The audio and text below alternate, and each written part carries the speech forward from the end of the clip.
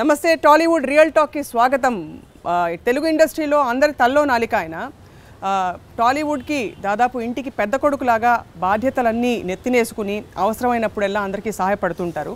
కానీ అదే హక్కుతో సందర్భం వచ్చినప్పుడల్లా అవసరమైనప్పుడు దుమ్ము దులి పవతలు పెడుతుంటారు. వ్యక్తులు ఎవరైనా సరే మొహమాటం లేకుండా మాట్లాడతారు ముక్కుసూటిగా వెళ్తుంటారు. ఆయనే దర్శక నిర్మాత తమ్మారెడ్డి భరద్వాజ గారు.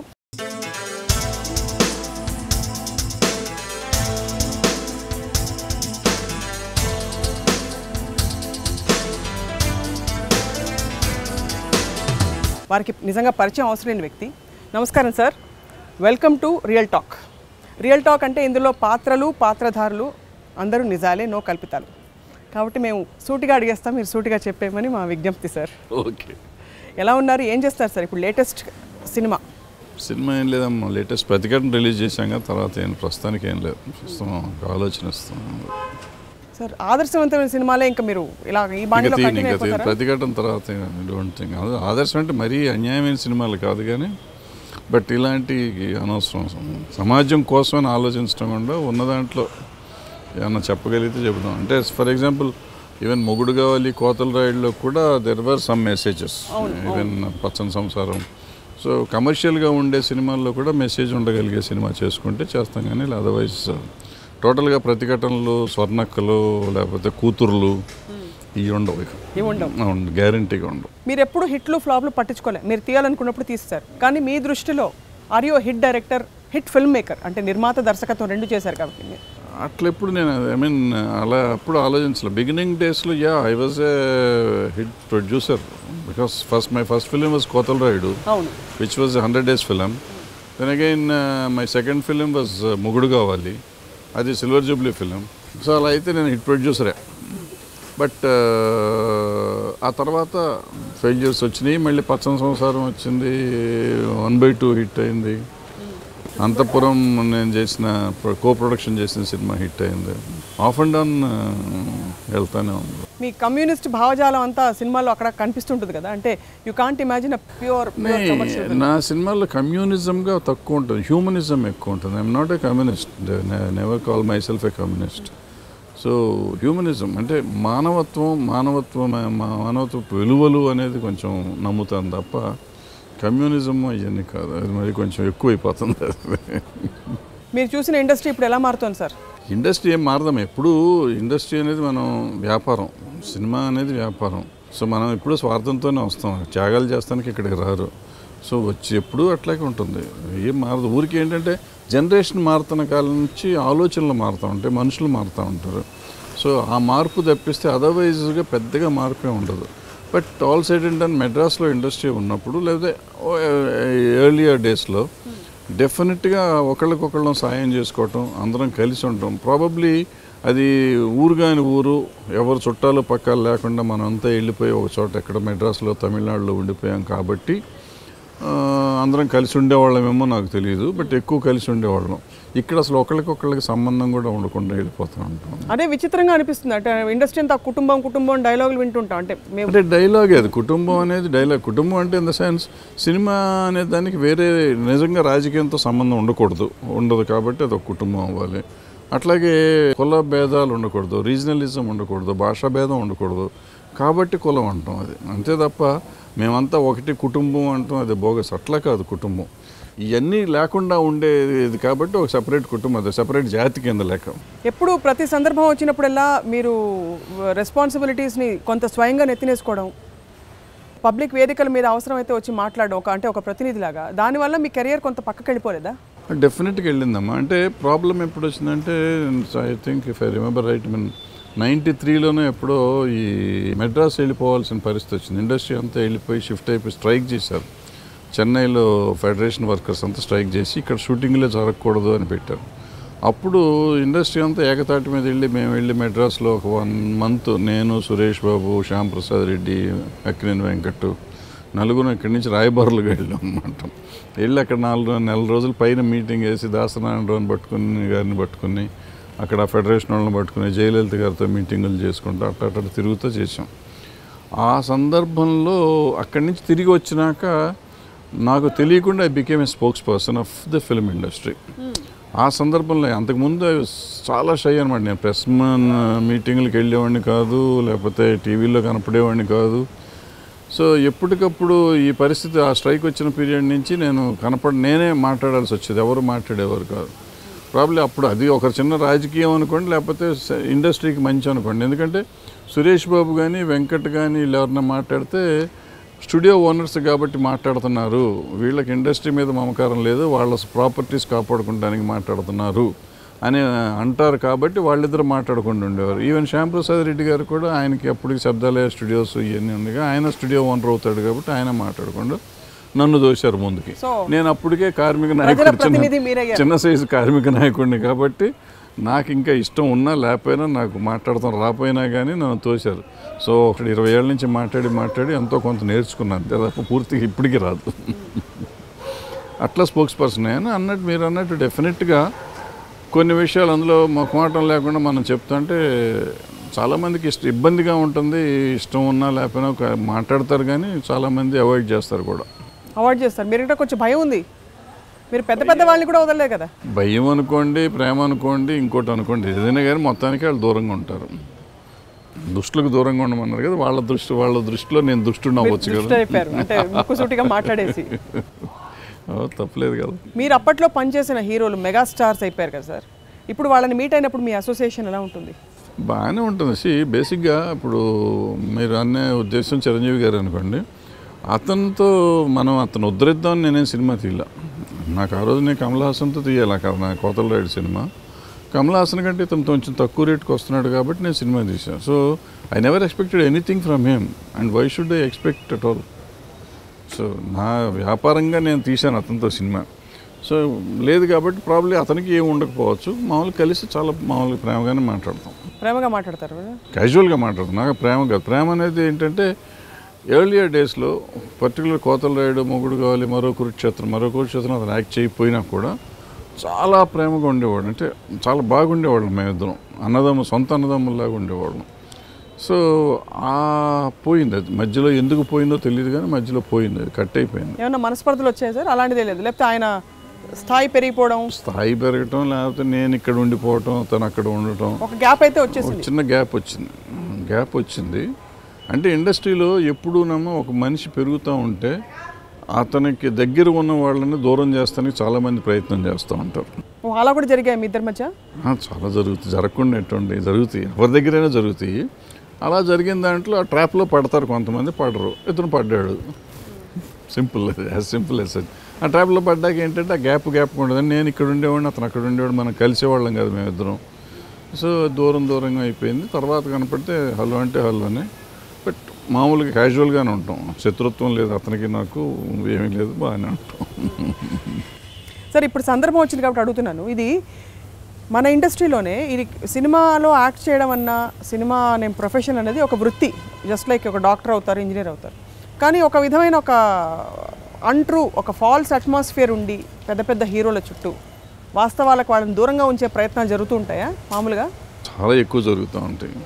అంటే వాళ్ళు కూడా దూరంగా ఉండడానికి ప్రయత్నం చేస్తారు. ఇప్పుడు ఎవరైనా కానీ ఫెయిల్యూర్ డైజెస్ట్ చేసుకోలేరు. చిన్న సక్సెస్ని కూడా పెద్దదానిలాగా తీసుకుంటారు. బట్ చిన్న ఫెయిల్యూర్ని కూడా అసలు తీసుకోలేరు. అందుకని మనం పక్కన ఉన్నవాళ్ళు చుట్టూతో ఉన్నవాళ్ళు ఆ ఫెయిల్యూర్ ఫెయిల్యూర్గా చెప్పరు. వీళ్ళు కూడా నమ్మకుండా తిరుగుతుంటారు తెలిసినా కూడా నమ్మ తెలియనట్టు నటిస్తూ ఉంటారు. ఓహో. అంటే ఉదాహరణకి సినిమా ఫ్లాప్ అయింది. మీ తప్పు కాదు. లేకపోతే మీ పాత్ర అందులో లేదు. ఫలానా హీరోయిన్ వర్కౌట్ కాలేదు ఇంకేదో ఇంకేదో అదే ఇప్పుడు డైరెక్టర్ జడగొట్టాడో ప్రొడ్యూసర్ సరిగ్గా తీయలేదో ఇంకోటో ఇంకోటో అవుతుంది తప్ప నువ్వు నీ వల్ల కాదు. నువ్వు నీ ఫ్యాన్స్ నీ గొడవ అంతా బాగానే ఉంది నువ్వు బాగున్నావు బట్ సినిమా బాగాలేదు సంథింగ్ ఏదో చెప్తా ఈ పోకళ్ళు మన చిత్ర పరిశ్రమలోనే ఉన్నాయా లేక ఎక్కడైనా ఉంటుంది అన్ని చోట్ల అంటే హాలీవుడ్లో మనం వినం అంటే మనకు నేను చూడలేదు ప్రత్యక్షంగా. హాలీవుడ్లో ఇట్లా ఇంత ఉండదు హీరో వర్షిప్ అక్కడ ఉంటుంది బట్ ఇక్కడ మనలాగా మన వేరే ఫ్యాన్ ఫేర్ ఇవన్నీ ఉండవు. ఇక్కడ కొంచెం ఎక్కువగా ఉంటుంది కదా అందుకని కొంచెం తేడా ఎక్కువ ఉంటుంది. సో ఓవరాల్ ఇది మీరు సమస్యల్ని స్వీకరించడం ఒక ప్రజా ప్రతినిధిగా వ్యవహరించడం అనేది క్రమేణా మీరు ఎంజాయ్ చేయడం మొదలు పెట్టారా అంటే ఇప్పుడు సమస్యలు ఎక్కడున్నాయని వెతుక్కుంటూ వెళ్తుంటారా? సమస్యలు ఎక్కడ ఉన్నాయి ఎత్తుక్కుంటే ఏమి వెళ్ళను. సమస్యలు నా దగ్గరికి ఎత్తుక్కుంటూ వస్తాయి. కొన్నిటికి ఏంటంటే ఇప్పుడు ఫర్ ఎగ్జాంపుల్ కొన్ని సమస్యలు ఉంటాయి. అవి మన దగ్గరికి రావు. వాటిని ఎవ్వరికి వాళ్ళు అవాయిడ్ చేసి తిరుగుతూ ఉంటారు. ఆ సమస్యకి ఎవడో ఒకటి సమాధానం చెప్పాలి. ఇండస్ట్రీ తప్పించుకు తిరిగిందని మళ్ళీ మీడియాలో ఏదో వస్తూ ఉంటుంది. సో ఎవరు తప్పించుకు తిరగాల్సిన అవసరం లేదు. బట్ సమాధానం చెప్పాల్సిన అవసరం లేదని వాళ్ళు ఊరుకుంటారు తప్ప అవాయిడ్ చేయటం కాదు అయితే ఎవరో ఒకళ్ళు ఛాంబరో లేకపోతే రెస్పాన్సిబుల్ పర్సన్ ఎవరో ఒకళ్ళు మాట్లాడాలి. ఫార్చునేట్లీ ఆర్ అన్ఫార్చునేట్లీ నేను మాట్లాడితే ఇండస్ట్రీలో రెస్పాన్సిబుల్ పర్సన్గా తీసుకుంటారు కాబట్టి నేను మాట్లాడేస్తే ఒక పని అయిపోతుంది కదా అని నేను మాట్లాడతాను. ఎందుకు సార్? ఫర్ ఎగ్జాంపుల్ డ్రగ్స్ కేసులు ఏవో బయటపడతాయి. యాక్సిడెంట్ డ్రంక్ అండ్ డ్రైవింగ్లో ఎవరో పట్టుబడతారు హీరోలు. లేకపోతే ఇంకేదో పెద్ద మాఫియా బయటపడుతుంది ల్యాండ్ మాఫియా. ఇంకేదో భాను అని ఇంకోటని ఇంకోటని కనెక్షన్స్ బయట. అందరికీ మీరు ఎందుకు సార్ నెత్తినేసుకోవాలి? Is there nobody else ఇంత పెద్ద పెద్ద హీరోలు వచ్చి మాట్లాడరు. ఇంత పెద్ద ఇంత ఇంకా పెద్ద దిక్కులు ఉన్నారు చాలా మంది వాళ్ళు ఎవరు వచ్చి మాట్లాడరు. మీరు ఎందుకు మాట్లాడాలి సార్? అంటే వాళ్ళు ఎవరు మాట్లాడరు. మాట్లాడకూడదని కాదు కానీ మాట్లాడరు. ఎందుకంటే ఎవరికి వాళ్ళకి పర్సనల్ రీజన్స్ ఉంటాయి రాదర్ కొన్ని. ఆ రీజన్స్లో వాళ్ళు మాట్లాడరు. నాకే రీజన్ లేదు. ఇప్పుడు బేసిక్గా నా సమస్య కాదని వదిలేసుకోవచ్చు కదా. మీరు ఎందుకు మాట్లాడతారు? అంటే కళామ తల్లి ఏమన్నా అన్యాయం అయిపోతుంది? లేకపోతే కళామ తల్లి గురించి అపార్థాలు ప- పెరిగిపోకూడదు? యా డెఫినెట్గా అంతే. కళామ తల్లి అని నేను అన్నాను ఇవాళ whatever reason it is ఇవాళ నాకు ఒక స్టేటస్ కానీ లేకపోతే ఒక సమాజంలో ఒక ఈ స్టేటస్ వచ్చిందంటే definitely it is because of the film industry so ఆ ఫిల్మ్ ఇండస్ట్రీకి నా గ్రాటిట్యూడ్ నేను ఇలానే చూపించుకోవాలి. ఎందుకంటే ఫిల్మ్ ఇండస్ట్రీ మీద ఎవడో బురదలుదంటే నా వల్ల ఆపగలిగే శక్తి ఉన్నప్పుడు నేను ఎందుకు ఆపకూడదు? శక్తి ఉన్న వాళ్ళు చాలామంది ఉన్నారు కదా వాళ్ళు చెరుపుతారులే వాళ్ళు తీసేస్తారులే బురద నేను ఎందుకు ఊరుకోవాలి? నా నా శక్తి నేను చేస్తాను. మిగిలిన వస్తే వస్తాడు లేకపోతే లేదు. అంతేగాని వాళ్ళు ఎవరో చేస్తారు నేను ఎందుకు ఊరుకోవాలి? నన్ను ప్రజలు కానీ లేకపోతే సినిమా ఇండస్ట్రీ కానీ ఆ రోజు వీడెవడు అని చెప్పి వదిలేలా. నన్ను ఆ రోజు సినిమా ఇండస్ట్రీ కౌగిలించుకుంటేనే కదా ఇండస్ట్రీలోకి వచ్చాను. టాలెంట్ ఉంది కాబట్టి కౌలించుకుంది కదా? ఉందా లేదా అని టాలెంట్ లేకపోతే ఇప్పుడు ఊరికి అందరినీ కౌగిలించుకుంటుందండి? డిపెండ్స్ ఆఫ్ కోర్స్ మీరు అట్లా తీసుకుంటే అట్లా అట్లా ఎందుకు తీసుకోవాలి? నెగిటివ్గా ఎందుకు తీసుకోవాలి? పాజిటివ్గా నేను I was junior engineer engineering చేసి ఉద్యోగంలో చేరాను నేను. నేను ఉద్యోగంలో చేరి ప్రాబ్లీ రిటైర్ అయ్యేటప్పటికి అయ్యి ఉంటే ఒక సూపరింటెండెంట్ ఇంజనీర్ అయ్యామన్నాము బట్ అంత పాపులర్గా వాళ్ళు ఉన్న స్టేటస్ అయితే ఉండేది కాదు. మధ్యలో ఇంకో రకమైన స్టేటస్ ఉండేది. అఫ్కోర్స్ సూపరింటెండెంట్ ఇంజనీర్ రిటైర్ అవటం అంటే మామూలు స్టేటస్ కాదు. అది మంచి స్టేటస్ బట్ ఇంత ఈ పాపులారిటీ కానీ ఇది కానీ ఇప్పుడు ఎంజాయ్ చేస్తున్న కొన్ని ఉన్నాయి. కొన్ని ఎంజాయ్ చేసే ఉంటాయి కదా. ఆ కిక్ డెఫినెట్గా రాదు కదా. ఆ కిక్ ఇచ్చింది ఇండస్ట్రీ మీరు ప్రతిఫలంగా ఇలా ఈ విధంగా రుణం తీర్చుకుంటున్నారు మీరు. అంతే కదా. సో మీ నిర్ణయాలన్నీ కరెక్ట్ అయ్యాయి ఇంతవరకు? చాలా వరకు కరెక్ట్. మెజారిటీ మెజారిటీ మెజారిటీ డెఫినెట్గా కరెక్ట్. అంటే but for film making film మేకింగ్లో చాలా వరకు ఫెయిల్యూర్లు ఉన్నాయి. అంటే ఐ మీన్ సక్సెస్ అవుతుంది అనుకున్న ఫెయిల్యూర్ సినిమా తీయటం తప్పని నేను అన్నాను నా సినిమా నేను ఈవెన్ ప్రతిఘటనప్పుడు నేను హిట్ అవుతుందని తీస్తాను. అయితే ఫ్లా ఫ్లాప్ అయినందుకు ఏమీ అసలు బాధపడిపోయి ఇంట్లోంచి పారిపోయి పరిస్థితి ఏం లేదు కానీ మీ దృష్టిలో మీరు సినిమాలు అన్ని వరల్డ్ సినిమాలు చూసుంటారు. అందరి సినిమాలు చూసుంటారు. మీ సినిమా ఫ్లాప్ కావడానికి కారణం ఏమై ఉంటుంది అనుకుంటారు అంటే సబ్జెక్ట్ జనానికి నచ్చక లేక ఆ సమయంలో పరిస్థితులు కలిసి రాక? ఇప్పుడున్న పరిస్థితులు ఏంటంటే ఆడియన్స్ ముందే ప్రిపేర్ అయిపోతున్నారు. ఈ సినిమా చూడాలి ఈ సినిమా చూడకూడదని. ఈ పర్టికులర్ సినిమాకి అసలు ఎవరు రాలా? థియేటర్కి రావాలి కదా. థియేటర్కి వచ్చుంటే వాళ్ళకి నచ్చిందో నచ్చలేదో పట్టేసుకున్నా అంటే బేసిక్గా ప్రాబ్లీ భరద్వాజ్ సినిమా చూడకూడదు అనుకున్నారు లేకపోతే పొలిటికల్ సినిమా అని మనం ముందు నుంచి ప్రచారం చేశాం కాబట్టి పొలిటికల్ సినిమా ఇప్పుడు ఇంకెందుకు అనుకున్నారు? ఈ టీవీ న్యూస్లు వచ్చేసినాయి కాబట్టి టీవీలో చాలా వస్తున్నాయి కదా అయ్యే చూస్తున్నాం మళ్ళీ సినిమా ఎందుకు చూడాలనుకున్నారు? సో రకరకాల రీజన్స్ ఏమైనా ఉండొచ్చు. లేకపోతే ఎలక్షన్ టైం కాబట్టి అందరూ బిజీగా ఉన్నారు కాబట్టి సినిమా చూసే జనం లేకపోయారు. Any any reason might be any reason. But ultimate reason ఏంటంటే జనం ఆ సినిమా చూస్తానికి ప్రిపేర్ అవ్వలేదు. నాతో పాటుకు వచ్చిన ప్రభంజనం కానీ లేకపోతే ఏదో ఇంకా ఏదో సినిమా నాలుగైదు సినిమాలు వచ్చినాయి పొలిటికల్ సినిమాలు. ఏ సినిమాకి అంత ఆదరణ ఆదరణ రాలా. సో నా ఒక్క సినిమాకి రాలేదనుకోవటం ఎందుకు? చాలా ఇటువంటి సినిమాలకు రాల. మిగిలిన సినిమాలు పక్కనే రేస్ గుర్రం వచ్చింది సూపర్ డూపర్ హిట్ అయింది లెజెండ్ వచ్చింది సూపర్ డూపర్ హిట్ అయింది. సో వీళ్ళు ఒక రకమైన ట్రాన్స్లో ఉన్నారు ఆడియన్స్. వాళ్ళని అలా తీసుకెళ్ళి సెటిల్ చేసింది తెలుగు సినిమా ఇండస్ట్రీ. పలానా ఫార్మాట్లో సినిమా చూస్తానికి వాళ్ళని తయారు చేసింది. ఇంకో ఫార్మాట్ చూస్తానికి వాళ్ళు ప్రిపేర్ అయ్యలేరు రాదర్ వాళ్ళని తీసుకొస్తానికి నాలాంటి వాళ్ళు ఇప్పుడు మనం చెప్పిన నేను చెప్పిన మూడు నాలుగు సినిమాల వాళ్ళు ట్రై చేసాం ఆల్మోస్ట్ అందరం ఫెయిల్ అయ్యాం. కానీ తీసుకురావాల్సిన అవసరం ఉందంటారు. హండ్రెడ్ పర్సెంట్ ఉంది. ఈ సినిమాలు చూడాలి కదా డెఫినెట్గా డిఫరెంట్ సినిమా చూడటం అనేది చాలా అవసరం చూడాలి. లేకపోతే ఎంతకాలం చూస్తారు ఈ రాటన్ థింగ్ ఆరు ఆరు పాటలు ఐదు ఫైట్లు నాలుగు బూత్ కామెడీ సీన్స్ పెట్టుకుని సినిమాలు చూసి అదే సినిమా జీవితం చిన్నది మేము రెండు గంటలు థియేటర్కి వెళ్ళామంటే వంద రూపాయలు రెండు వందలు ఖర్చు పెట్టామంటే మాకు ఎంటర్టైన్మెంట్ కావాలంటున్నారు hundred percent they are correct hundred percent they are correct. Hundred percent నవ్వుకోవాలి cinema హాయిగా నవ్వుకోవాలి. ఇప్పుడు ఫర్ ఎగ్జాంపుల్ త్రీ ఇడియట్స్ ఉంది మున్నాబాయ్ ఎంబీఎస్ ఉంది మున్నాబాయ్ లగేరోహో ఉంది. హిలేరియస్గా నవ్వుతూ ఉంటాంగా సినిమాలు థియేటర్లో కూర్చున్నంతసేపు నవ్వుతాంగా but at the same time ఈ మూడు సినిమాలు మంచి సినిమాలేగా? సో అలా మంచి సినిమా తీసి నవ్వించుకోవచ్చుగా? ఇటువంటి చెత్తే తీసేందుకు దాంట్లో పాటలు ఉండవు. ఉంటాయి కానీ దానికి సంబంధించి పిచ్చి డ్యాన్సులు ఉండవు. పిచ్చి పాటలు ఉండవు. మంచి పాటలు ఉంటాయి. మంచి డైలాగులు ఉంటాయి. మంచి సీన్స్ ఉంటాయి. సెంటిమెంట్ ఉంటుంది. కానీ మీ సినిమాలో వాటన్నిటిని హ్యూమర్? ఎక్కువ? పెట్టరు మీరు సినిమాల్లో? బై బై నేచర్ మీరు ఇష్టపడరా? నేను బై నేచర్ చాలా హ్యూమరస్గానే ఉంటాను. ఆ సెట్ ఆఫీస్ ఇంకా బయట ఉన్నప్పుడు. అంటే సినిమాలో సంహౌ ఆ సినిమాకి అది పనికిరాదేమో అని అంటే బేసిక్గా మనం తీసుకునే కాన్సెప్ట్ ఆఫ్ మై స్క్రిప్ట్స్ చాలా సీరియస్ స్క్రిప్ట్ ఉంటుంది. సీరియస్ స్క్రిప్ట్లో కామెడీ అంటే బలవంతంగా తీసుకెళ్ళి ఇరికించడం అవుతుంది. ఇరికించడం అనేది డీవియేట్ అవుతుంది. ఇప్పుడు పక్కన నేను పక్క సినిమా వాడిని తప్పు అని నేను అంటా. నా సినిమాలో అదే పని చేస్తే కరెక్ట్ కాదుగా? మీ సినిమాలు సార్ పర్సనలీ నేను నేను చూసినంత వరకు వెదర్ ఇట్స్ నేను వేసానన్న సినిమా కాదు పోతే పోనీ కానీ మిగతా సినిమాలు కానీ స్టోరీ చాలా కంపెలింగ్గా ఉంటుంది. అంటే మనం పక్క అసలు ఆలోచన బాగా తీవ్రంగా ప్రభావితం అవుతుంది చూస్తే ఆ సినిమాలు. మీరు ఎంచుకోవడమే ఆ కథాంశాలు ఎంచుకుంటున్నారు. ఇప్పుడు అందులో నిజంగానే మీరు అన్నట్టు హ్యూమర్ ట్రాక్ పెట్టడం కుదరదు. కుదరదు కుదరదు.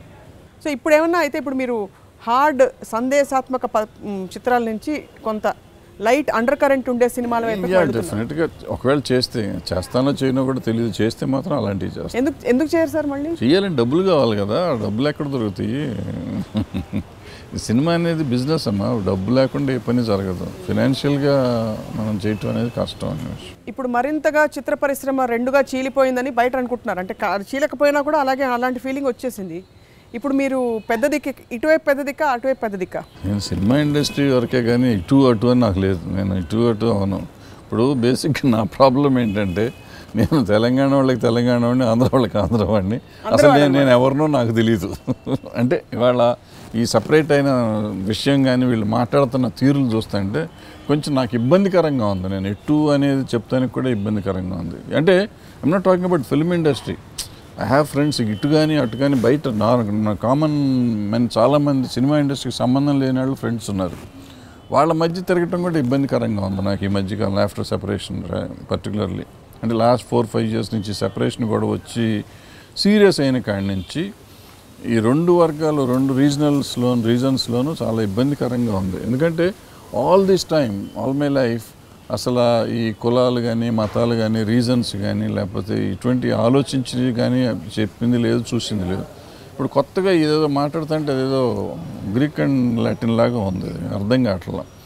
So not able to digest అసలు ముందు ఇదిగా కష్టంగా ఉంది. ఇప్పుడు రెండు ఛాంబర్స్ ఉండబోతున్నాయని వార్తలు వదంతులు. రెండు ఛాంబర్స్ chambers, అదంతా ఇప్పుడు అనవసరంగా పిచ్చిగా చెప్తున్నారు. Hyderabad film chamber of commerce అనేది నైన్టీన్ ఫార్టీ ఫైవ్లోనే ఎప్పుడో వచ్చింది. అంటే అప్పటి నుంచి ఉంది. అంటే ఫిఫ్టీ ఫైవ్ అదిను ఇది ఒక పదమూడు. దగ్గర దగ్గర సిక్స్టీ ఇయర్స్ నుంచి అది ఉన్నది ఛాంబర్. సో ఇవాళ కొత్తగా రావాల్సిన అవసరం లేదు. అది అప్పటి నుంచి జరుగుతూనే ఉంది. ఇక్కడ సైలెంట్ డేస్లోనే సినిమాలు తీశారు ఇక్కడ హైదరాబాద్లో. ధీరన్ గంగులీ గారు ఇక్కడ పది పన్నెండు సినిమాలు తీశాడు సైలెంట్ మూవీస్. ఆ తర్వాత అజంతా స్టూడియో వేరే పేరు మీద ఏదో ఉండేదో సింగర్ చేశారు. ఆ తర్వాత సారథి స్టూడియో వచ్చింది సిక్స్టీస్ నుంచి. సో ఇక్కడ ఇండస్ట్రీ ఇక్కడ మొదటి నుంచి ఉంది. కొత్తగా వచ్చిందేం లేదు దీన్ని ఉద్ధరించింది ఎవరేమీ లేదు. కానీ మేమే ఇండస్ట్రీని తీసుకొచ్చామని అంటుంటారు చాలా మంది ఏదో చెప్తా ఉంటారు. ఎవరికాళ్ళు చెప్పుకోవాలి కాబట్టి ఎవరికాళ్ళు ఏదో ఒకటి చెప్తూ ఉంటారు. ఫ్లైట్లో తీసుకొచ్చారేమో ట్రైన్లో తీసుకొచ్చారు. సో అన్నీ జరుగుతూ ఉంటాయి. దాని గురించి పెద్ద ఇష్యూ కాదు. బట్ ఏంటంటే ఇక్కడ అక్కడ అనేది అసలు ఉండదు. తెలుగు సినిమా మనం తీసేది బేసిక్గా. ఏ సినిమా తీసినా కానీ రెండు చోట్ల ఆడితేనే మనకి డబ్బులు వస్తాయి. తెలంగాణలో కానీ ఆంధ్రాలో కానీ సినిమా ఆడితేనే మనకి డబ్బు అనేది వస్తుంది. సో నేను ఒక రీజియన్కి సినిమా తీస్తే ఒక ఒట్టి తెలంగాణ కోసం ఒట్టి ఆంధ్ర కోసం సినిమా తీస్తే రికవరీ అవ్వదు. సినిమా డబ్బులు రికవర్ అవ్వవు. ఇప్పుడు మనం అందరం కలిసి తెలుసుకోవాల్సింది ఏంటంటే అసలు ఈ సినిమా ఇండస్ట్రీకి కావాల్సింది ఏంటి? ఆల్రెడీ లాంగ్ పెండింగ్ ఒక నాలుగైదేళ్ళుగా కొన్ని సమస్యలు మనం గవర్నమెంట్తో మాట్లాడుతున్నాం. ఒక గవర్నమెంట్ ఉన్నప్పుడే అయ్యే తేల్చుకోలేకపోయాం ఇప్పుడు రెండు గవర్నమెంట్తో మాట్లాడి రెండు తేల్చుకోవాలి. దాని గురించి మనం ఆలోచించుకోకుండా ఛాంబర్ పెడదామా? రెండు చార్ నెంబర్లు పెడదామా? ముప్పై ఆరు ఛాంబర్లు పెడదామా అని అనుకుంటే మూర్ఖత్వం పిచ్చితనం తప్ప ఇంకేముండదు కొంతమంది గతంలో దొంగ నోట్ల కేసులో పట్టుబడ్డ వాళ్ళు కూడా ఛాంబర్లు పెడుతున్నారు కదా నిజమా? దొంగలు దొరలు దోపిడీదారులు ఇటువంటి వాళ్ళు కేసులు ఉన్నవాళ్ళు కేసులు లేనివాళ్ళు అన్ని ఇండస్ట్రీస్లోనూ ఉంటారు. అట్లాగే ఇక్కడ ఉన్నారు. వస్తారు పోతారు అదేముంది బట్ ఇది మంచి పరిణామం అయితే కాదు కదా. రెండు మూడు ఇండస్ట్రీ అంటే బికాస్ విడిపోతే సమస్య పరిష్కారం కాదు ఇంకా జటిలం అవుతుంది. అందరం కలిసికట్టుగా వేళ్ళని బిగించుంటే? అంటే ఇప్పుడు బేసిక్గా వాళ్ళు కలిసి ఉండి తీరాలి. ఉంటేనే ఇండస్ట్రీ బతుకుతుంది. ఇండస్ట్రీ వాళ్ళు బతకాలంటే కలిసే ఉండాలి. ఎందుకంటే రెండు రాష్ట్రాల్లో సినిమా ఆడాలి. రెండు రాష్ట్రాలు ఆడాలంటే ట్యాక్స్ సిస్టమ్ ఒక సిస్టమ్ ఉండాలి. ఒక సిస్టమ్ ఉండకుండా ఇప్పుడు తెలంగాణకి నేను తగ్గిస్తాను. ఇక్కడ తీస్తే ఇంతకుముందు మనం తెలుగు సినిమా తీస్తే బయట బయట లాంగ్వేజ్ సినిమా ఇక్కడ చేస్తే ట్వంటీ ఫోర్ పర్సెంట్ ట్యాక్స్. ఇక్కడ చేస్తే సెవెన్ పర్సెంట్ ట్యాక్స్ అన్నాం. ఫర్ ఎగ్జాంపుల్ రేపు ఆంధ్ర వాళ్ళు మేము ఎగ్జామ్షన్ ఇస్తాము అక్కడ ఫైవ్ పర్సెంట్ ఇస్తాం మీరు బయట అంటే అది ఇక్కడ బయట స్టేట్ అవుతుంది. అవును. ఇక్కడ చేస్తే అప్పుడు ఫిఫ్టీ పర్సెంట్ బయట నుంచి వచ్చింది ఫిఫ్టీ పర్సెంట్ నేను తెలంగాణలో పెట్టినా లేకపోతే ఆంధ్రాలో బయట నుంచి వచ్చింది ఫిఫ్టీ పర్సెంట్ నేను వాళ్ళు పెట్టినా తెలుగు సినిమా రెండో స్టేట్లోకి వెళ్ళేటప్పుడు ఫిఫ్టీ పర్సెంట్ ట్యాక్స్లోకి వెళ్ళిపోతుంది. అలా కాకుండా ఈ రెండు స్టేట్స్ని ఒప్పించుకొని రెండు స్టేట్స్లోనూ ఒకే యూనివర్సల్ ట్యాక్స్ సిస్టమ్ పెట్టించుకోకపోతే వీళ్ళు చాలా ఇబ్బందుల్లో పడతారు. సో అది ఫస్ట్ మాట్లాడుకోవాలి. ఇటువంటి రకరకాల సమస్యలు ఉన్నాయి. ఇప్పుడు లాస్ట్ నైంటీ నైన్ నుంచి పా సబ్సిడీలు ఉన్నాయి. కొన్ని పెండింగ్ ఉన్నాయి. చంద్రబాబు నాయుడు గారు అప్పుడు ప్రభుత్వంలో ఉన్నప్పుడు నాలుగు కోట్లు ఇవ్వాలి. అవి ఇప్పుడు దాకా ఇవ్వాల. ఆయన ఉన్నంతకాలం ఆయన ఇవ్వలేదు. ఆయన వెళ్ళిపోయినాక రాజశేఖర రెడ్డి గారు వచ్చి ఇవ్వలేదు. రా- కిరణ్ కుమార్ రెడ్డి గారు వచ్చి ఇవ్వలేదు. రిప్రజెంటేషన్ ఎప్పటికప్పుడు రిప్రజెంటేషన్లు వెళ్తున్నాయి. ఎవరు ఇవ్వాల? ఇప్పుడు మరి చంద్రబాబు నాయుడు గారు వచ్చారు. మరి ఆయన ఇస్తారా? ఆయన ఇస్తానికి మళ్ళీ ఆ స్టేట్ ఎందుకు ఇవ్వాలి నేను అంటారు? ఇక్కడ చంద్రశేఖరరావు గారు ఇస్తారా? ఈయన నా స్టేట్ కాదు అంటాడు. సో ఎవరు ఇస్తారు? అది పోయింది అనుకుందాం కొంచెంసేపు. సరే ఇప్పుడు last one one and half ఇయర్గా small film అనే సినిమా స్మాల్ బడ్జెట్ మూవీస్కి సర్టిఫికెట్స్ రావట్లా ఇప్పుడు సర్టిఫికేట్ సర్టిఫికెట్ ఎవరు ఇవ్వాలి ఏ రాష్ట్రం ఇవ్వాలి? రెండు రాష్ట్రాలు సపరేట్ సపరేట్గా ఇవ్వాలి. ఇస్తే కానీ ఆ ట్యాక్స్ కలెక్ట్ అవ్వదు. సో ఇవన్నీ సమిష్టిగా సాల్వ్ చేసేది ఇప్పుడు సాల్వ్ చేసుకోవాలంటే సమిష్టిగా ఉండాలి. కొట్టుకు వస్తున్నారు కొట్టుకోవటం మాని మాని రోజు ఇవన్నీ సమిష్టిగా సాల్వ్ అవుతాయి. ఇప్పుడు మీరు ఒక మీటింగ్కి ఉదాహరణకి పిలిచి అందరినీ కూర్చోబెట్టే రౌండ్ టేబుల్లో మీరు కన్వీన్ చేసి పెద్దలందరినీ ఇన్వైట్ చేసి ప్రొడ్యూసర్స్ అండ్ డైరెక్టర్స్ వింటారా సార్ మాట? వినరు.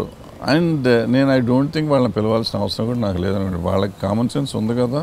వాళ్ళు ఆలోచించుకోవాలి కదా. And we have platforms like chamber producers council so many things వాళ్ళు వాళ్ళు కూర్చొని మాట్లాడుకోవాలి. నేను ఎందుకు మాట్లాడాలి? All the time why should I come ఎంతకాలం దాన్ని అసలు లాగుతూ ఉంటాం? యంగర్ జనరేషన్ రావాలి వాళ్ళు సాల్వ్ చేసుకోవాలి ప్రాబ్లమ్స్ బట్ యంగర్ జనరేషన్ వరదలు వచ్చి కొట్టుకుపోయినా ఉత్తరాఖండ్ ఫ్లడ్స్ వచ్చినా ఇంకోటి వచ్చినా ఇంకోటి వచ్చినా ఒక్క హీరో వచ్చి మాట్లాడేంటి సార్. రావాలి. వాళ్ళు రావాల్సిన పరిస్థితి వచ్చింది వాళ్ళకి. ఒక హీరో రావడం రావడమే. ప్రపంచంలాగా వచ్చి రాష్ట్రానంతా రెండు రాష్ట్రాన్ని ఊపి పెట్టేశాడు మన పవర్ స్టార్ గారు. మిగతా వాళ్ళు అసలు ఏమీ మాట్లాడరు. ఏమన్నారు సార్? ఇప్పుడు పవర్ స్టార్ వచ్చాడు కదా ఆయన ఆయన మాట్లాడొచ్చు. రెండు రకాల రెండు రాష్ట్రాలను మాట్లాడితే అన్న పని జరుగుతుంది చూద్దాం. ఆయన గవర్నమెంట్లో కొంత ఇన్ఫ్లుయెన్స్ ఉంది కాబట్టి యా యూ క్యాన్ ట్రై ఆయన ట్రై చేస్తానికి చేస్తే మన ఇండస్ట్రీలు అంతా కలిసి చేసుకొని చేయొచ్చు. పాసిబిలిటీ ఇంకా. ఎందుకంటే ఎప్పటికీ సార్ సినిమా అంటే ఇస్ గ్లోరియస్ అంటే ప్ర ప్రజల పాయింట్ ఆఫ్ వ్యూ ఒక సగటు ప్రేక్షకురాలుగా చెప్తున్నది ఏంటంటే సినిమా అనగానే ఒక వండర్ ఇంకా కళ్ళల్లో అలా మెరుపులు మెరుస్తూ ఉంటాయి. అంత అందమైన పరిశ్రమ అంత అందమైన మనుషులు. కానీ ఏమైందంటే క్రమేణా కొంచెం నోటోరియస్ బ్యాక్గ్రౌండ్స్ ఉండేవాళ్ళు ఇండస్ట్రీలోకి రావడం. అది అది రాజకీయాల్లోనూ జరిగింది సినిమా ఇండస్ట్రీ రెండు పబ్లిక్ ప్లాట్ఫామ్స్ కావడంతో ఈ రెండింటిని ప్రస్తావిస్తున్నాను అన్ని రంగాల్లో ఉన్నప్పటికీ. రెండు కొంచెం ఎక్కడో కలుషితం అయ్యి అవుతున్నాయా? అంటే ఎక్కడో మాఫియా కేసులో ఇరుక్కున్న వాడు వచ్చి ఒక సినిమా తీస్తారు డబ్బులు ఉన్నాయని వాళ్ళు ప్రొడ్యూసర్ అయిపోతారు.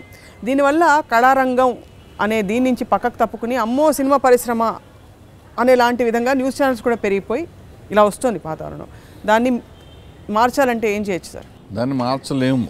అంటే ఊరికి మార్చాలి మార్చేస్తాం ఇవన్నీ బోగస్ కవర్లు కానీ మార్చలేము. ఎందుకంటే ఈ రెండు ఫీల్డ్స్ మీరు చెప్పిన రెండు fields it's open to all. Anybody can come anybody can come and as per our Indian constitution accused I mean అభియోగం మోపబడటం వేరు అతను ప్రూవ్ నేరస్తుడు అవటం వేరు. సో అభియోగం మోపబడిన ప్రతివాడి మీద అభియోగాలు ఉంటాయి రాష్ట్ర దేశంలో బేసిక్గా. నిజంగా నేరగాళ్ళ మీద అభియోగాలు కూడా ఉండవు. అసలు చేసిన నేరస్తుడి మీద ఏమి ఉండవు. సో ఎవడీడు ఆ అమాయకుడు ఎవడో నిజమైన నేరస్తుడు ఎవడో మనకు తెలియదు సో ఈ పలానా వాడు దొంగ పలానా వాడు కాదు అంటానికి లేదు. సమ్ మెజారిటీ దొంగలే ఉన్నారు కాబట్టి పెద్దగా వీళ్ళని పట్టించుకోవటం లేదు. సో దొంగల మధ్య మనం ఉన్నాం కాబట్టి వీళ్ళని గురించి ఎక్కువ మాట్లాడి మన టైం వేస్ట్ చేసుకోవటం ఎందుకు? ఇప్పుడు కొత్త ప్రభుత్వాలు వచ్చినాయి కాబట్టి అవినీతిని సమూలంగా నిర్మూలిస్తామంటున్నారు కాబట్టి ప్రాబ్లీ వీళ్ళందరూ పోతారేమో చూద్దాం. అందరూ ఒక కొత్త ప్రపంచం అయితే రావాల్సిన కొత్త ప్రపంచం రావాలి. సార్ మీరు ఘాటుగా మాట్లాడి ఎప్పుడైనా ఎవరినైనా హర్ట్ చేసి అలాంటివి అయ్యాయి సంఘటనలు? అయ్యి జరుగుతుండే. ఇప్పుడు నిజం చెప్పినప్పుడు ఆ- ఆ రోజు డెఫినెట్గా చాలా హర్ట్ అయ్యారు. తర్వాత చాలామంది హీరోలు నాకు ఫోన్ చేశారు. మేము చేయబోతున్నాం నువ్వు తిట్టావు కదా ఈసారి చూడు ఈ సినిమా చూడు ఈ సినిమా చూడు అన్నారు. అఫ్కోర్స్ వాళ్ళ ప్రయత్నాలు వాళ్ళు చేస్తుంటారంటే బేసిక్గా ఇక్కడ ఏమైపోయిందంటే ప్రతి మనిషికి వాళ్ళ సర్వైవల్ ఇష్యూ అయిపోయింది. ఈ సినిమాతో ఇష్యూ ఈ సినిమాతో నెక్స్ట్ సినిమా నెక్స్ట్ సినిమాతో ఆ పై సినిమా. సో అది కాకుండా ఈ ర్యాట్ రేస్ ఒకటి ఉంటుంది. పలానా హీరో సినిమా ఎనభై కోట్లు చేస్తే నా సినిమా ఎనభై కోట్లు చేయాలి కదా. ఎనభై కోట్లు చేయాలంటే భరద్వాజ్ చెప్పి ఇలాంటి సినిమాలు మనం చేస్తే ఎనభై కోట్లు కాదు ఎనిమిది కోట్లు వస్తాయి. నా భవిష్యత్తు ఏంటి? So I should be number one అనే ఫీలింగ్ వాళ్ళకి competitive స్పిరిట్లో they cannot effort to do a different kind of film so దాంతో న్యాచురల్గా ఈ పిచ్చి సినిమాలే చేస్తూ ఉంటారు. సో వాళ్ళ కాంపిటీషన్ ఆ ర్యాట్ రేస్లో వన్ వన్ అవుతానికి ప్రయత్నాలు చేసుకుంటూ ఉంటారు. అలాగే కంటిన్యూ అయిపోతుంది. కంటిన్యూ అవుతారు. అదే బట్ ఆల్ సైడ్ ఇండియన్ ఇప్పుడు పవన్ కళ్యాణ్ ఉన్నాడు జానీ అని ఒక సినిమా ట్రై చేశాడు ఫ్లాప్ అయింది. మహేష్ బాబు ఉన్నాడు మొన్న నేను ఒక్కడనే ట్రై చేశాడు ఫ్లాప్ అయింది. అట్లాగే మన ఎన్టీఆర్ అదేదో సినిమా ట్రై చేశాడు. సో అదర్స్లో రెండు రకాల వేషాలు చేశాడు. డిఫరెంట్ ఫిలిం ఏం కాదు బట్ డిఫరెంట్గా ట్రై చేశాడు. వర్కౌట్ అవ్వలేదు. సో ఇట్లా రకరకాల ప్రయత్నాలు అయితే చేస్తూ ఉంటారు. వర్కౌట్ అవ్వక వదిలేస్తూ ఉంటారు. అంటే వర్కౌట్ అవ్వలేదని వాళ్ళు అనుకుంటారు. నా ఉద్దేశంలో అవన్నీ హిట్ సినిమాలే. ఎందుకంటే నువ్వు ఎప్పుడైతే డిఫరెంట్ ఫిలిం చేస్తున్నావో ఆ డిఫరెంట్ ఫిలిం ఇంతకంటే ఎక్కువ చేయదు అనుకోవాలి మీరు వీళ్ళు ఏమనుకుంటారు? హిట్ సినిమా ఎంత అవుతుందో? ఒక super hit cinema Attarintiki Daredi suppose ఎనభై కోట్లు చేసింది అనుకుందాం.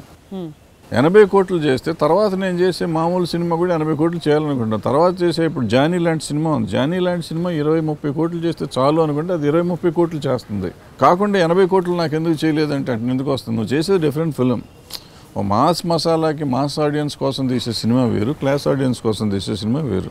క్లాస్ ఆడియన్స్ సినిమా ఎంత రావాలో అంతే వస్తుంది.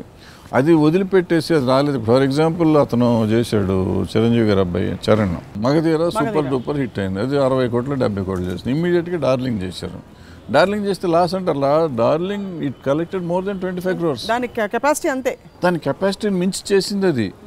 మించి చేసిన లాస్ వచ్చిందంటే దానికి ఎవరు బాధ్యులు? ఖర్చు పెట్టినాడు తప్పు అది అంటే apples and grapes cannot be compared అంతేనా?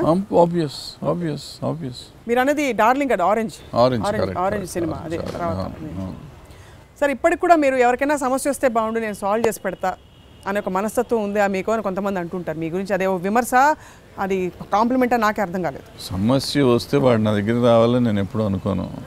ఆడు ఎవరన్నా వస్తే సమస్య ఉంటే సొల్యూషన్ చెప్తాం. అంతేగాని ఆడు వెళ్ళి ఇంటింటికి వెళ్ళి సమస్యలు తెచ్చుకోండి బాబు నేను ఉన్నానని చెప్తామా ఏంటి? ఎవడన్నా వచ్చాడు అనుకోండి ఆడి ప్రాబ్లం ఆడికి ఉంటే చేస్తాం. ఇప్పుడు నాకు ఎన్నో సమస్యలు ఉన్నప్పుడు నాకు ఎంతోమంది హెల్ప్ చేశారు. డెఫినెట్గా చేశారు. డెఫినెట్గా వాళ్ళు నేను ఇండస్ట్రీలో ఉన్నానంటే నాకు ఇండస్ట్రీలో ఉన్న చాలామంది నా వర్కర్స్ కానీ నా కో ప్రొడ్యూసర్స్ కానీ యాక్టర్స్ కానీ వాళ్ళు నన్ను ఎంత ప్రేమగా చూసుకున్నారు ఎంత హెల్ప్ చేశారు ఇవన్నీ చాలా ఉన్నాయి. ఐ కెనాట్ ఫర్గెట్ దామ్ ఇవాళ నేను చాలామందిని తిట్టొచ్చు నేను. తిట్టినా కానీ వాళ్ళు నాకు సాయం చేసిన రోజులు ఉన్నాయి.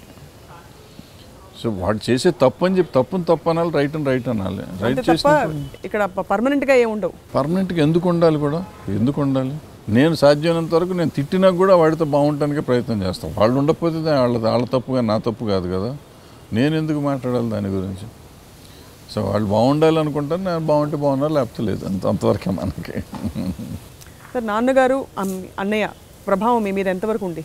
అన్నయ్య ప్రభావం ఉంటుంది. అంటే అన్నయ్య అంటే was the one of the best directors అన్ఫార్చునేట్గా ఆయన సినిమాలు సరిగ్గా చేయలేదు. ఆయన హెల్త్ వైజ్ ఇంకోటి పోయాడు.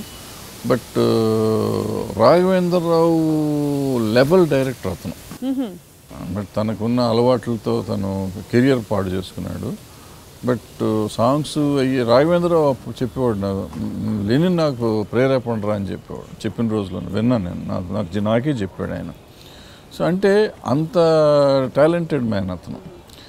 అతను నేను ఆదర్శంగా తీసుకుంటానికి ప్రయత్నం చేశాను. డైరెక్ట్ చేసేటప్పుడు సినిమాలు డైరెక్ట్ చేసేటప్పుడు బట్ ఐ నెవర్ అంటూ అప్ టు హీ స్టాండర్డ్ ఎప్పుడు నా వల్ల కాలేదు. అంటే ఇది ఎప్పుడు క్రియేటివ్ ఫీల్డ్ అమ్మా పరిమితి మన పరిమితి మనకు ఉంటుంది. మనం పరిమితి దాటి చేయగలమని అనుకుంటాం కానీ చేయలేం. కొంతమంది సాధిస్తారు. కొంతమంది సాధిస్తారు. సాధించిన వాళ్ళు ఉన్నారు. వాళ్ళు పైకి వచ్చారు. సాధించిన వాళ్ళు మనలాగా యావరేజ్గా ఉండిపోతారు. మీకు ఇప్పటికీ మీరు వేసుకుని మరీ మరీ పదే పదే చూసే సినిమా స్వర్ణక్కేనా? ఇంకేమన్నా ఉందా? లేదమ్మా నేను స్వర్ణక్క కంటే కూడా అలజడి ఎక్కువ చూస్తాను. నాకు అలజడి నాకు ఇష్టమైన సినిమా. అలజడి ఏంటంటే బేసిక్గా it is my life my college days my experiences నేను మాట్లాడింది నేను చూసింది అవి యాజ్ ఇట్ ఈస్గా తీసాం డైలాగ్తో సహా మీకు అయ్యే ఉంటాయి. సో నాకు బాగా ఇష్టమైన సినిమా కానీ నేను నా క్యారెక్టర్ ఉంది దాంట్లో. One of the characters is my character personal life అంతా ఉంటుంది దాంట్లో. నేను తిన్న తన్నులు నేను కొట్టిన కొట్టుళ్ళు నేను ప్రేమలు నా ప్రేమలు నా గొడవలు అన్నీ అందులో ఉంటాయి. ఎన్నిసార్లు ప్రేమించారు సార్ మొత్తం? ఒకసారి.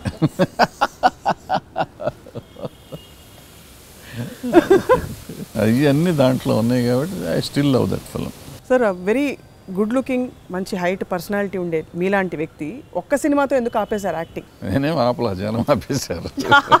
బాగా చెప్పారు. You really have good sense of your sir ఆపేశారంటే మళ్ళీ తర్వాత అవకాశాలు రాలేదా? లేకపోతే అంటే వచ్చి కూడా మీరు వద్దులేని యా, లేదు లేదు రాలా రాలా. అంటే వస్తువు అంటే ఏదో చిన్న చిన్న వేషాలుగా వచ్చి అదేమండి ఆ చిన్న గెస్ట్ అండి ఇదండి అని అంటే అప్పటికి ఏదో ఈ రోజుల్లో అట్లా ఒకటి రెండు సినిమాలు మరీ తప్పని సినిమాలు ఒకటి రెండు చేసి పెట్టాను. చేశారా? ఈ రోజుల్లో ఈ. రోజుల్లో చేశారు ఈ మధ్య. అప్పుడు వేసిన మాత్రం సైకో క్యారెక్టర్ కదా? అది మెయిన్ విలన్ అది. యాక్చువల్గా నరేష్ కంటే నాదే పెద్ద విషయం సినిమాలో. సో బట్ అట్లా పెద్దగా ఎవరు రాలేదు. వన్ ఆర్ టూ ఫిల్మ్స్ అడిగారు అడగలేదని కాదు. బట్ పెద్ద ఇంట్రెస్ట్ కనిపించలేదు నాకు. ఇంకేం చేయలేదు. డైరెక్టర్ అంటే కెప్టెన్ ఆఫ్ ద షిప్. ఎవరో చెప్పింది నేను ఎందుకు చేయాలని కూడా ఉంటుంది కదా. అదేం కాదు నాకు బేసిక్గా చాలా జనం నన్ను చూసి ఏదో భయపడుతున్నారని అంత మీరంతా అంటూ ఉంటారు తప్ప నాకు సిగ్గు అసలు. ముందు ముందు ఎదుటి మనిషితో మాట్లాడతాం సిగ్గు భయం కెమెరా అంటే నాకు డైలాగ్ రాదు. నాకు డైలాగ్ మీరు పేపర్ ఇస్తే చదవటం రాదు. నేను ఈవెన్ సెట్లో నేను డైరెక్ట్ చేసే సినిమాలో కూడా నేను రాసుకున్న డైలాగ్ కూడా నేను ఆర్టిస్ట్కి చెప్పలేను. ఈ ఎక్స్ప్రెషన్ ఇట్టా ఉంటుంది ఇలా చేయండి అని చెప్పగలను తప్ప మొత్తం డైలాగ్ అంతా చదివేసి డైలాగ్ ఎక్స్ప్రెషన్ చెప్పడం అనేది నాకు రాదు. సో అది చేతకాని విషయం నేను వెళ్ళి చేసి ఇప్పుడు నన్ను ఎదురు డైరెక్టర్ తిడతాడేమో అని చిన్న కాంప్లెక్స్ డెఫినెట్గా ఉంటుంది. అరే నన్ను తిట్టలేరు వాళ్ళు. వాళ్ళు అడిగిన ఎఫెక్ట్ నేను ఇవ్వలేకపోవచ్చు. సో దాంతో వాడికి వాడిని ఇబ్బంది పెడతాం ఎందుకని నాకు చిన్న కాంప్లెక్స్ అయితే నిజంగా ఉంది. నిజం చెప్పమన్నారు కాబట్టి ఈసారి చెప్తున్నాను నిజం. సో అట్లా నన్ను పెద్దగా అడిగిన ఒకటి రెండు సినిమాలు అట్లా అవాయిడ్ చేశాను. మేజర్ క్యారెక్టర్స్కి ఎవరు పెద్దగా అడగల సో ఇప్పుడు ఇంకా సినిమాలు తీస్తానో తీనో కొంచెం డౌట్ అయితే ఎక్స్ప్రెస్ చేశారు బిగినింగ్లో. అంటే ప్రొడ్యూసర్ దొరికితే తీస్తారు కదా. Produce so how do plan to spend మీ మీ సమయాన్ని సమస్యల మినహా ఎలా వెచ్చిద్దాం అనుకుంటున్నారు మీరు? సమస్యల మీద చాలా చేసి I been in to TV industry I been doing చాలా షోస్ చేశాను. అండ్ మళ్ళీ టీవీ షోస్ చేసుకుంటూ ఉంటాం. ఏదో ఒకటి చేస్తూ ఉంటాం చేయకుండా ఉండలే. అంటే ఖాళీగా ఉండను. ఖాళీగా ఉండలేము కూడా. ఏదో పని చేస్తాను ఉంటాం పని పని లేకుండా అయితే బతకలేం కదా. సో పని చేసుకుంటాం ఉద్యోగాలు ఇస్తే ఉద్యోగం చేస్తాం ఉంటే షోస్ చేస్తాం ఏదో ఒకటి చేసుకుంటాం. బతకాలి కదా ముందు అదొకటి ఇంపార్టెంట్ కదా. సో ఆల్ సైడ్ ఇప్పుడు మీరు మీరు మాత్రం ఒకటి సార్ ఆనెస్ట్లీ మీరు కోటలు మెడలు అయితే కట్టలేదు ఇండస్ట్రీకి వచ్చి. అవసరం కూడా లేదు కదా. హ్యాపీగా ఉన్నాం కదా ఎందుకు? There are days I mean డబ్బు లేదు లేదు అనుకుంటాం కానీ ఒక ఇబ్బందికరమైన పరిస్థితుల్లో నేను ఉన్నప్పుడు చిన్న ఎక్స్పీరియన్స్ చెప్తా. డబ్బు మీద ఎందుకు నాకు ఒక రకమైన ప్రేమ కూడా లేదు అసలు. దాని దాని మీద అసలు ఒక రకమైన చిరాకు కూడా ఉంది. డబ్బు బాగా ఇబ్బంది రూపాయి రూపాయి కష్టమైన సమ సందర్భాలు నాకు ఉన్నాయి ఒకటి రెండు సందర్భాలు. ఆ సందర్భంలో ఒకరోజు ఎనిమిది వేల రూపాయలు నేను అప్పటికీ కోతల రాళ్ళు మొగుడు కావాలి పెద్ద పెద్ద సినిమాలు అన్నీ తీసేసి బాగా ఉన్నాను. అయిపోయింది బాగా ఇబ్బందుల్లో ఉన్నాను. రూపాయి రూపాయి ఇబ్బంది. ఒకరోజు I was force to carry eight thousand rupees a small meager amount. To compare to my I mean my career అల్లజడులు గిలజడులు ఇవన్నీ నలభై లక్షలు యాభై లక్షల సినిమాలు తీసిన ప్రొడ్యూసర్ని డైరెక్టర్ని అయ్యుండి ఒక ఎనిమిది వేల రూపాయలు ఇక్కడి నుంచి విజయవాడ క్యారీ చేయాలి. ఇట్ సో డిఫికల్ట్ ఆ డబ్బు పోతుందేమో అని జేబు మీద చేయి పెట్టుకుని ఇట్లా పట్టుకుని రాత్రంతా నిద్రపోకుండా బస్సులో నేను ప్రయాణం చేసినాక ఆ డబ్బు విలువ తెలిసింది. ఇంత ఇబ్బందికరంగా డబ్బును సంపాదించి దాచుకోవటం కంటే సంపాదించకుండా ఉన్నదంతా సుఖంగా ఉండటం బెటర్ కదా అనే ఫీలింగ్ ఇక్కడ నేను చప్పట్లు కొడతాను సార్ బికాస్ వాస్తవం. దానికి అంత ఇంపార్టెన్స్ ఇస్తే అది పోతుందేమో అని భయం కూడా ఉంటుంది దాంతోపాటు ఎప్పుడు మెంటలీ ఆక్యు ప్రియాక్యుపైడ్గా ఇప్పుడు అనవసరం ఇప్పుడు ఏ బాధ లేదు. ఉంటే ఉంది లేకపోతే లేదు.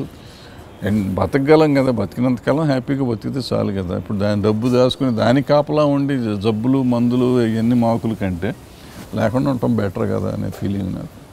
ప్రాబ్లీ ఇంకోటి అనుకోవచ్చు ఇటు సంపాదించలేక ఇటువంటి కవులు చెప్తున్నప్పుడు ఐ డోంట్ కేర్ ఎవడేమనుకుని నాకేం ఐ షుడ్ బి హ్యాపీ ఎదుటోడు హ్యాపీగా ఉండాలి నేను అక్కడ నేను హ్యాపీగా ఉండాలి నా పెళ్ళం పిల్ల హ్యాపీగా ఉండాలి. Yeah we're happy brilliantly put sir it's a very చాలా కరెక్ట్ పాయింట్ చెప్పారు మీరు. ప్రెషియస్గా ఎక్కువ ప్రెషియస్ అనుకుంటే దాచుకుని కాపాడుకోవడంలోనే ఎనర్జీ అంతా పోతుంది. హాయిగా బతకలేం. సో ఇవాళ మాకు నిజంగానే రియల్ టాక్ ఇది. దడదడని అడిగేసాను అడగాల్సినవన్నీ. మీరు యాజ్ యూజువల్ ఎప్పుడులాగా చెప్పేశారు. మళ్ళీ మళ్ళీ will be coming back to you sir సమస్యలు వచ్చినప్పుడు. మీరు కూడా మాకు క్లారిటీ ఇవ్వాలి. తప్పకుండా. థ్యాంక్ యూ వెరీ మచ్ నమస్తే సార్